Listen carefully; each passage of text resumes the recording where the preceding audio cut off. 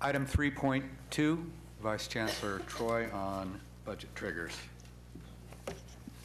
Uh, Yes, thank you. Good morning, uh, President Himelstein, Chancellor Scott, and uh, members. Uh, So this uh, item had originally been uh, proposed to focus ex- exclusively on the budget triggers, which you know were were were enacted in December. Due to the surprise release, surprise even apparently to the governor, last week of the 12-13 budget, I think I'll also use a lot of my time to talk about that as well, if, uh, with your uh, approval. Um, uh, Firstly, to go over the triggers, as as I've described in earlier communications and at the, uh, in prior board meetings, uh, with the passage of the 11-12 budget, uh, there was a great deal of uncertainty about some of the revenue assumptions that were included as part of that agreement.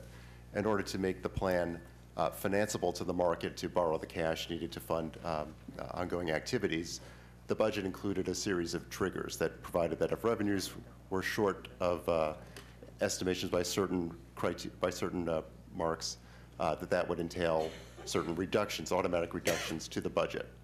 Uh, If the, for the community colleges, if revenues were found to be a billion dollars short of uh, the budget assumptions, that would entail a, what we call a Tier 1 cut.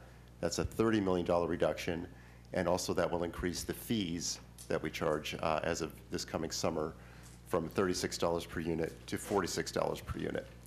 The Tier 2 trigger, which was to be pulled if uh, revenues were found to be $2 billion short of estimate, would be, in in addition to that Tier 1 cut, we would have a a $72 million reduction. That would be uh, permanent until that time that uh, future budgets can uh, backfill that cost.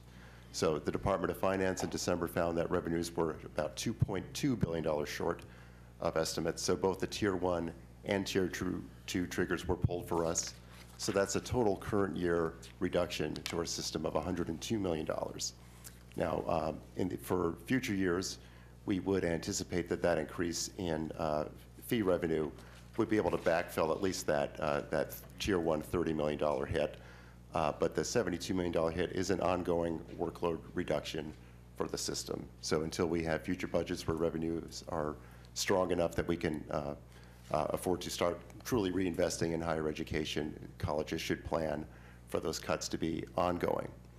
Uh, I would, I would say, given my conversations with uh, administrators, CBOs, over- since the budget was passed, we urged them to be cautious that until those dollars came in, that uh, you could not count on spending them.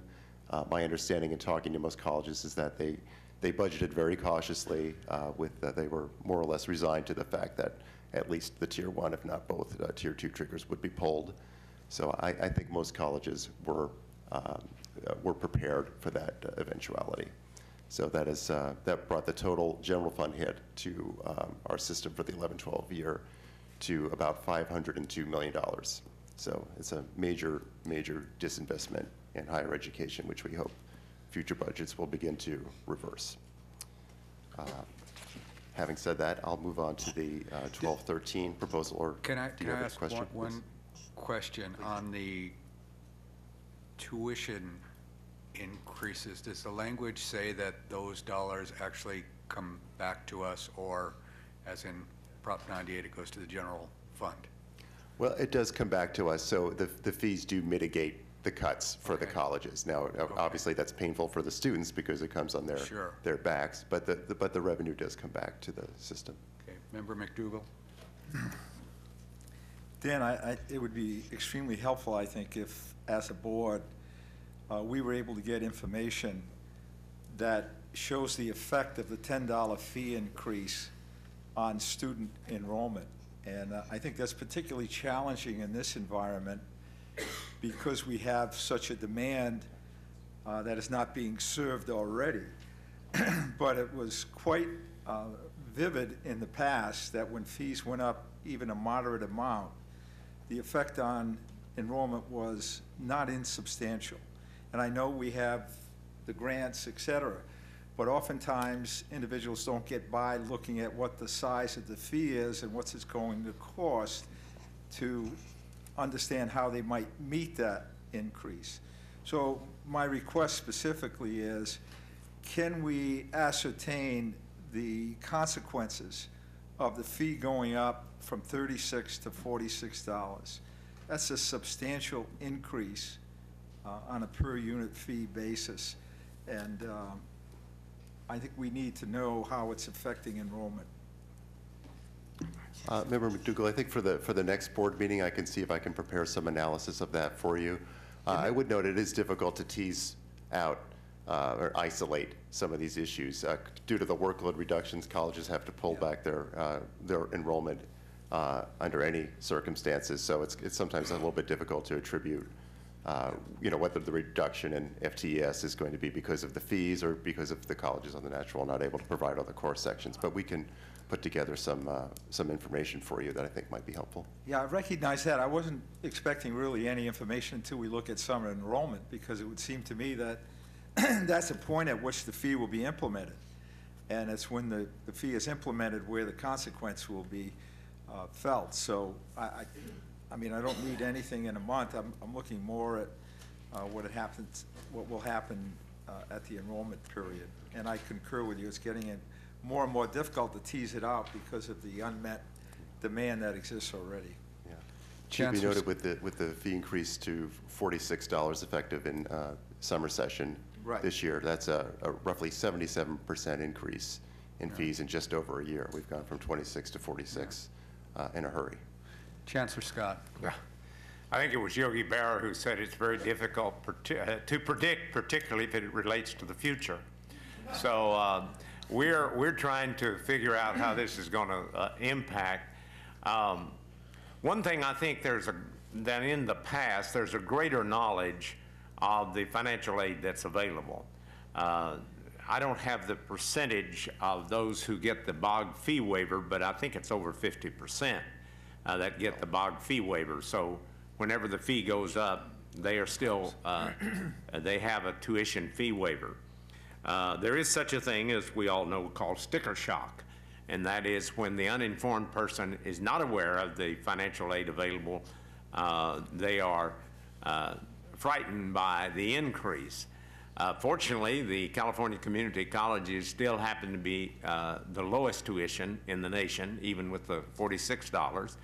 Um, And uh, it's not that we view that uh, uh, with a a great deal of joy at all. That's about $1,380, I believe, uh, for someone who takes 30 units in a year's time.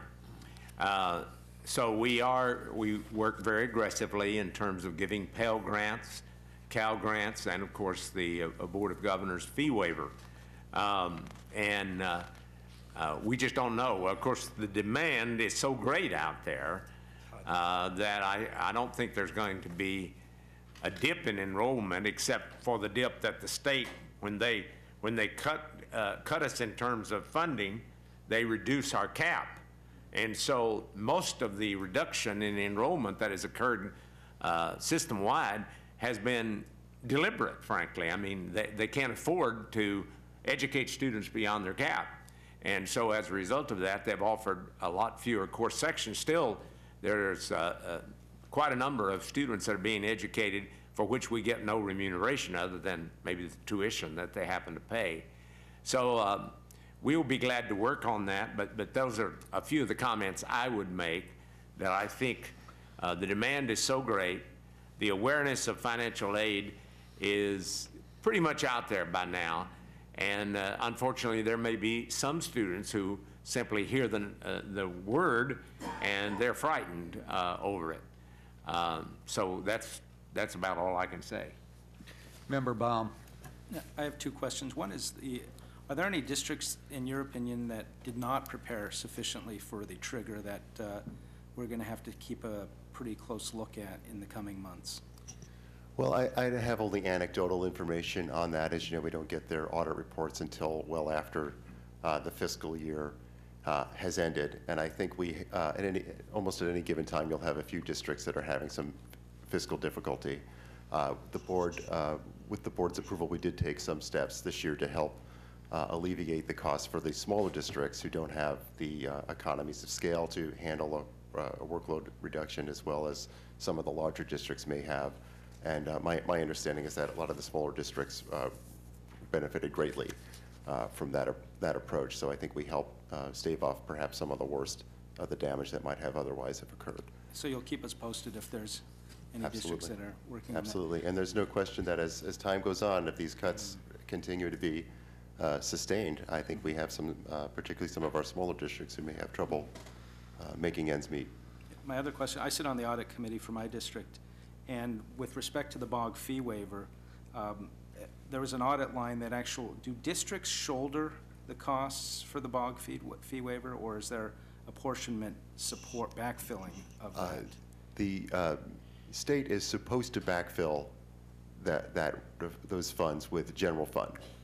And uh, our, our fear for the 11-12 year was that they may have overestimated the amount of fees uh, that we were going to collect, and that results in a shortage in general funds. So we may have a, a deficit in the 11-12 year uh, based on that shortage. I don't think it's a, a severe shortage, but I think it is notable. Well, it was, it struck me because I saw that the districts, we have a line where we're funding the, uh, the BOG fee waiver through the district. And so a, a fee increase that's not backfilled by the, uh, the state actually adds an additional financial burden to the districts to meet that uh, fee waiver, especially as you indicated, more than fifty percent of our students uh, qualify for the fee waiver, and maybe more will after that. Yeah, That's right. And I, I think the good news is, we're, and we're still getting some of the detail in from the Department of Finance at this point. We haven't had the, probably the time we'd like to really provide, get a very thorough analysis of that backup. But uh, it does appear that their intent is to try to backfill uh, that, uh, that waived, those waived fees. They've, uh, they've uh, significantly increased their estimates of the number of students that will um, get a BOG fee waiver and cr- provided the, the general fund backfill to account for that. So we're hopeful that that will help stave off a deficit in 12, 13. Thank you. Please proceed. Okay, if you will, I'll go on to the uh, 12, 13 budget proposal. Um, So the, the uh, the governor had a press conference on Thursday to announce uh, uh, his January proposal. Uh, The supporting detail shows a 12, 13 overall budget deficit of about $9.2 billion. Uh, About a little over 4 billion of that is carryover of the 11, 12 deficit. So from an operational standpoint, the, the 12, 13 budget deficit is about $5 billion. Uh, That is a significant improvement over what we've seen in, in recent years where we had uh, operational deficits in the neighborhood of 20 billion. Uh, Indeed, uh, even without major policy changes, additional, whether that be additional cuts or revenues, uh, the Department of Finance does show by the 14, 15 year that that operational deficit would be down to a little below $2 billion. So it's been a, uh, a painful ride. A lot of cuts uh, have been, have been enacted in order to help restore some balance to the state budget. But between those cuts and a slowly recovering economy, uh, it does appear that the state is uh, very slowly getting on a, on- on a better fiscal footing as we go into the future. Um, With that, there are cost obligations that the governor is interested in funding, including education. Uh, With that in mind, he's proposing a November ballot initiative, which he says will be $6.9 billion. That will be an increase in uh, the income tax for uh, filers who earn 250,000 or more, uh, and also an increase in the sales tax for of half a percentage point over, I believe, a four-year period to uh, help provide some new revenues both to education and to uh, backfill other holes in the budget.